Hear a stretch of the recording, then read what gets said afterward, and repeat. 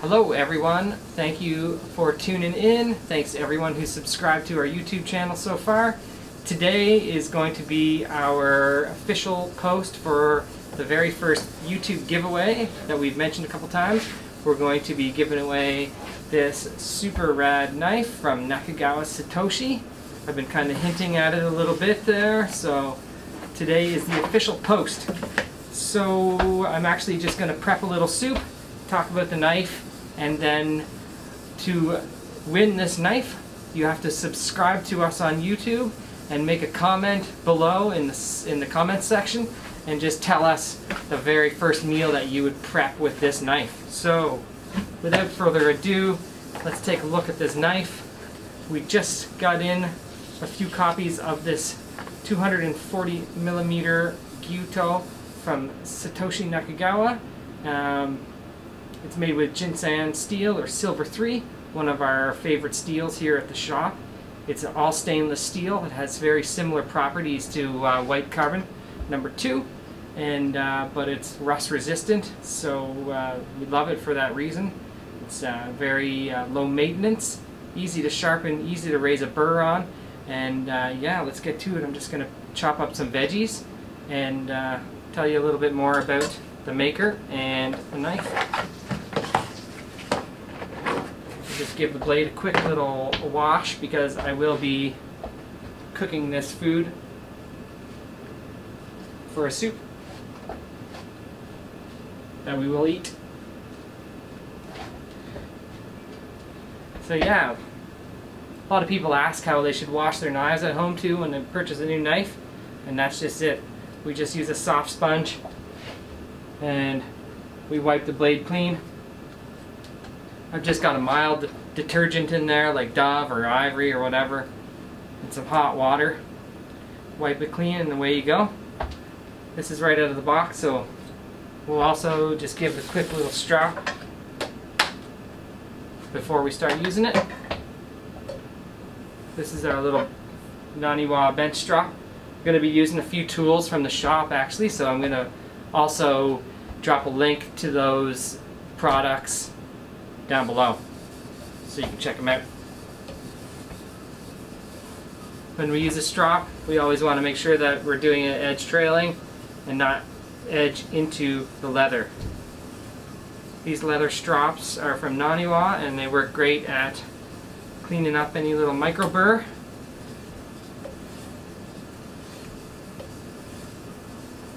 and my preferred way to hone a knife at home is leather strop.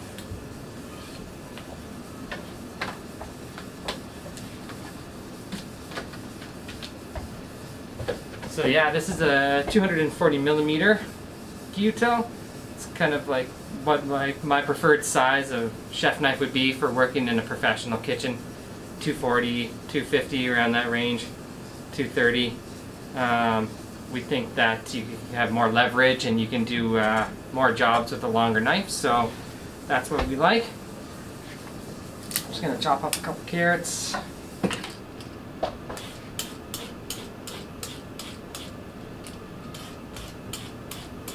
The Gyuto is the Japanese knife maker's chef knife. And it's really like the quintessential workhorse knife. It's good for push cuts, pull cuts, as well as rock chopping, if that's your jam. But, um,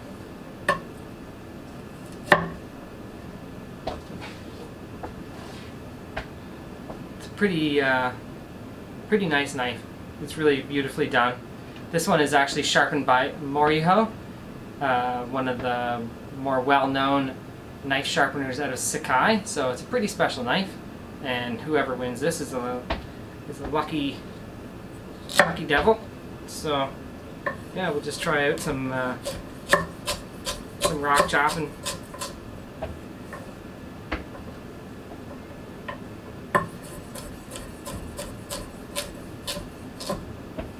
Just some rough cuts because this is all going to get roasted for a soup. Try some push cuts and pretty awesome knife. I would love to own one of these. I think that's this would be a really good workhorse knife for any professional and uh, just a stunning knife for any home cook.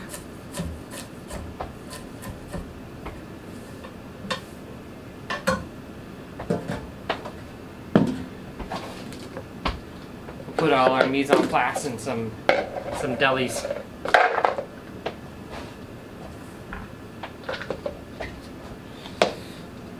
A little leek.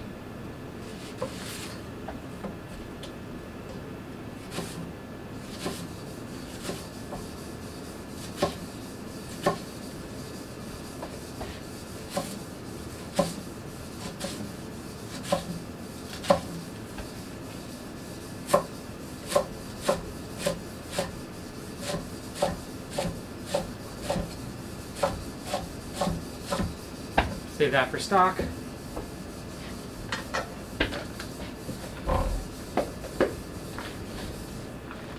And today I'm chopping on our demo board, our demo larchwood cutting board. We love these boards, they're super easy on your knife. The way they're constructed with the grains popping up, they're uh, kind of acts as a shock absorber for your knife, so it's really easy on Japanese knives. These are made in Cape Breton, Nova Scotia. Not too far from our shop, probably about a two hour drive or so. So let's get into chop an onion.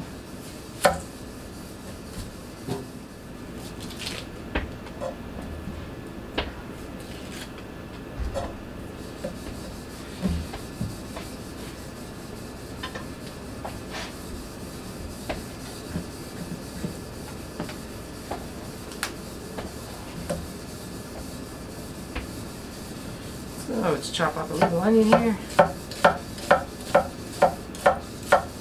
Now, sometimes you see people going like this. It's not really necessary if you're just doing rough chops for soup.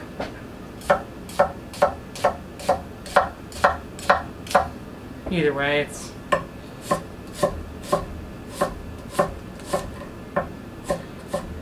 just gonna get all blended up in the end, so.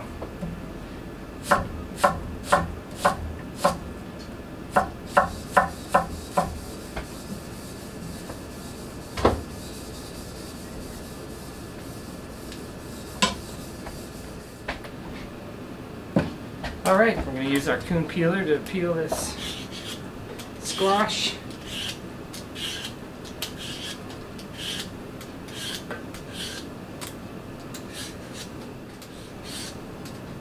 Yeah, so as I was mentioning before, Nakagawa Satoshi was working at uh, working for Kenichi Shiraki, or Shiraki Hamono for close to 16 years or 17 years, I believe and uh, Shiraki, Kenichi Shiraki just retired earlier on this year, and uh, Nakagawa has taken over the shop, purchased the shop, and uh, now he uh, has started his own brand. So this knife is actually from his own brand.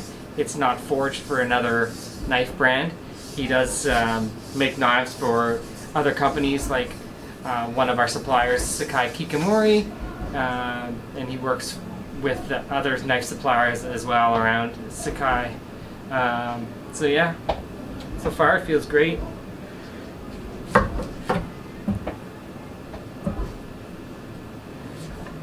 Just dice up this squash for roast, for roasting. Feels nice and smooth.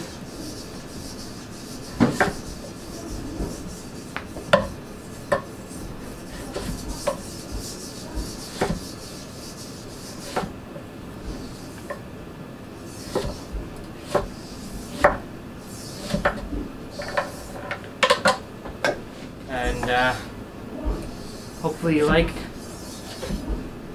our content. We're going to try to film lots of product videos too to, for references, so hopefully uh, those are will come in handy for you guys.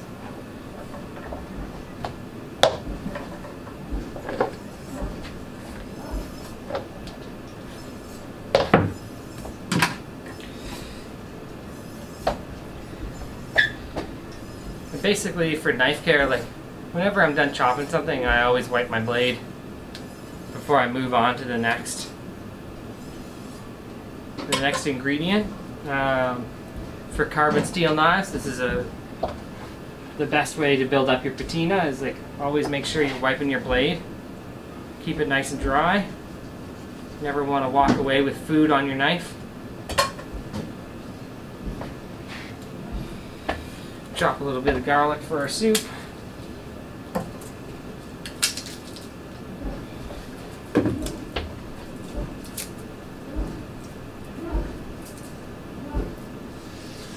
Lots of people ask me if they can smash garlic with their Japanese knives, and I usually recommend that you don't do that, but if you are going to, then I usually recommend that you do it lower down towards the, the, um, the spine of the knife or the handle where it's a little bit thicker.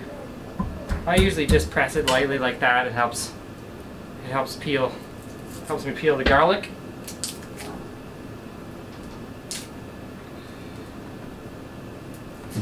But you definitely want to watch it. If you're smashing garlic, that's how you end up with a, a wonky blade.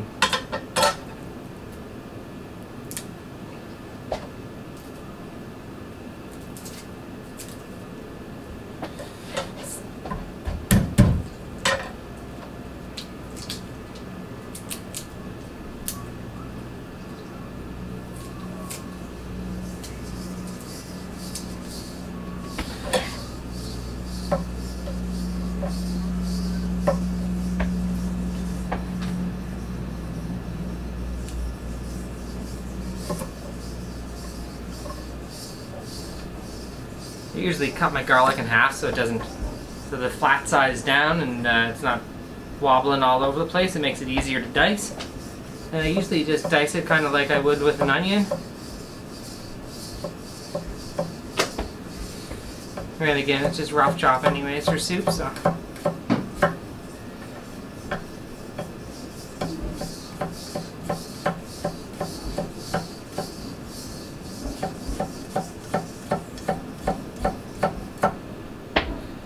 This way too if you want, I guess.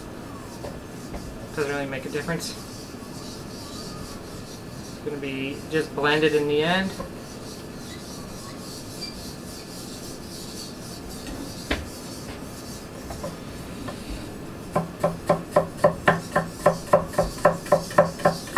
So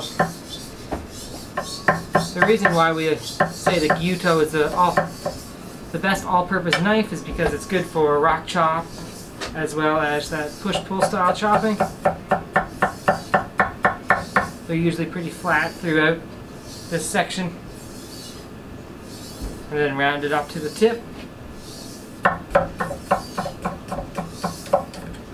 Actually, cutting this style of cutting, push-pull style of chopping is much easier on your blade when you're moving the knife back and forth like this way. Whereas if you're rock chopping, you're pivoting the edge and it could get caught in the cutting board and twist the edge as well. So we usually try to tell people to push-pull style of chopping as much as you can. It'll save your edges.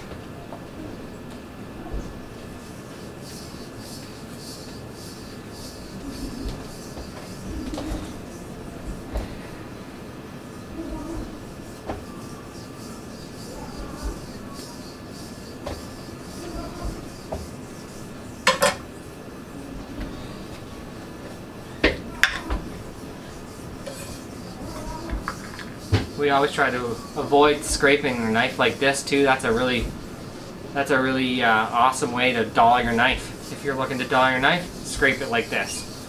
If you want to move food safely, use the spine of your knife.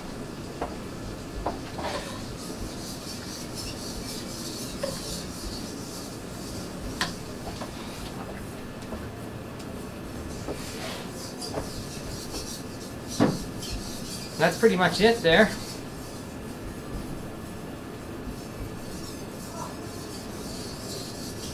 Hopefully I didn't leave anything out. Um, beautiful grind on these knives. We still have a few copies after we give this away one away. We love this knife. It's got a nice little uh, Kasumi finish along the blade path here. Nice defined shinogi line. Should be beautiful to resharpen. Um, yeah, and whoever wins this, we always recommend that you uh, get yourself a ceramic honing rod or only hone this on a rod, a ceramic rod or a leather strop and sharpen this knife only on water stones. So we'll be announcing a winner down the road. We're going to leave the contest open for a few weeks, I think, just to gain uh, as many new followers as we can. And then after that, we're going to try and do some more uh, giveaways on YouTube and uh, keep the keep the the followers growing and try to provide you guys with some good content. So don't forget to subscribe to our YouTube channel and follow us on Instagram, like us on Facebook, and check out our TikTok profile. And yeah, like I said, I will link all the products that I just used in this little video below. Don't forget to comment if you want to win this knife.